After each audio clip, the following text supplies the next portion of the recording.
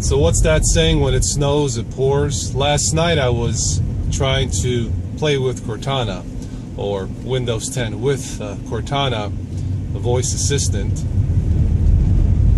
I wouldn't mind playing with Cortana. Anyway, last night I was trying to uh, test the latest Windows 10 January build, and my router I noticed went out.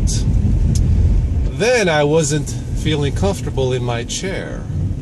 Uh, my chair had that sinking feeling, as it were, the telescoping thingy. I guess it's what filled with air or gas. I guess that broke. Um, you know, I've come to the conclusion that computer chairs in general suck. Anything less than, say, $500 is probably not very good. I'm going to try and fix what I have, but Anyway, I just realized the most computer or the most comfortable chair I have is not by my computer. The most comfortable chair I have, I'm actually sitting in it right here in my car.